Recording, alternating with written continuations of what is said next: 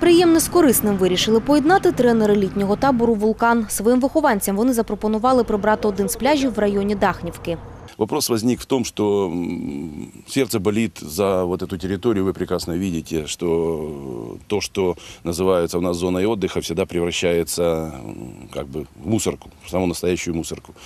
Місцем суботнику обрали кілометрову зону від причалу до рибінспекції. Значит, вы, начиная, станете по фронту от причала и до э, мусорного бачка, значит, надо будет собрать абсолютно весь мусор.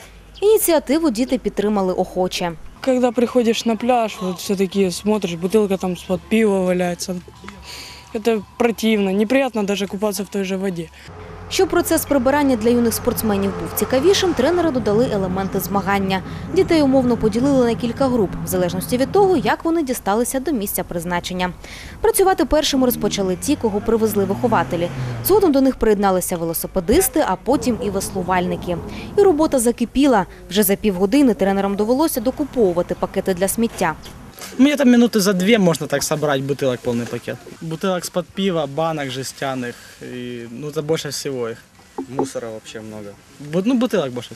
За кілька годин роботи 60 вихованців вулкану зібрали 120 мішків сміття міськістю по 120 літрів кожен.